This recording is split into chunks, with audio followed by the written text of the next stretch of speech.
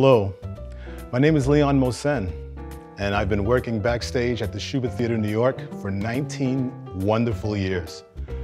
You never know in life how things may take you or whatever ride that you may be on in your destiny. And I've been really fortunate to be able to be there. Um, New York is such a wonderfully diverse place. And one of the great things, um, you never know what can happen.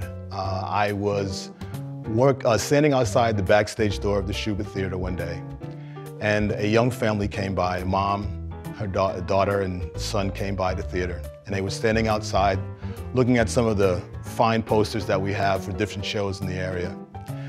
And I said to them, you know, hi, how are you? And they were so excited. The lady says, oh, my children are into theater and they're so excited about it. So I said to them, wow, it would be a nice thing to take a little tour, wouldn't it? And they said, sure. Now, normally, not allowed to do that, but this one day, it was nothing going on. It was practically empty at the theater as far as anybody working. So I had them come in and gave them a small tour. They were so, so thankful.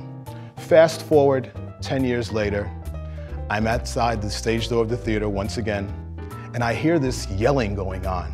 Oh my gosh, he's still there, he's still there. And I see a young man approaching me with his three or four friends. And who was it? Lo and behold, the young man, his name was Phillip, who I had given a tour to with his mom and sister 10 years prior. And he says, oh my goodness, I can't tell you how much that tour meant to me. And I said, well, you know, that's great. You know, he says, but you don't know, I'm now in the cast of West Side Story, which was playing across the uh, Times Square. And I said, well, that's wonderful. I'm so happy for you. And he says, yeah, he says, you know, that tour made all the difference in the world.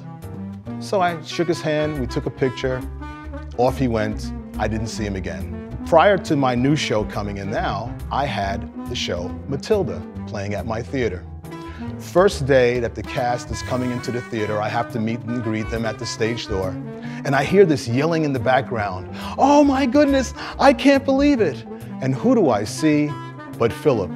Phillip had wind up being cast as the role of Rudolpho in the musical Matilda on the very same stage that I was able to give him a tour on over 12 years prior to that. So you never know here in New York where you might wind up or how destiny can change where you can end up in life.